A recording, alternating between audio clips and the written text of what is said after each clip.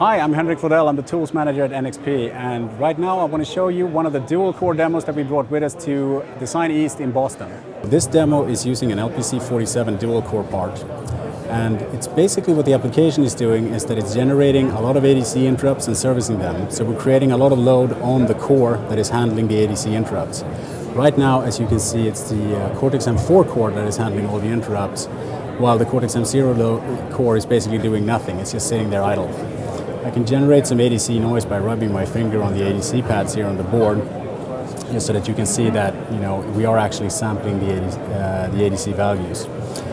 So what the demo is intended to show you is just how useful it is to have a second core to uh, free up processing power on the main core from mundane tasks such as taking care of uh, the ADC sampling. When I press this button, I move the ADC interrupts over to the Cortex M0 core and as a result you see that the, uh, the load on that core went up substantially while I freed up a lot of processing power on the Cortex M4. The load on the Cortex M4 does not go all the way down to zero because the Cortex M4 core is the one that is doing uh, all the graphics for this demo. The graphics was made using SEGGER's emWin library which is free for use for all LPC parts.